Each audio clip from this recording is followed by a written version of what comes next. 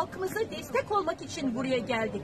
Onlar burada günlerce nöbet tutacaksa biz de onlarla beraber yanlarında olacağız.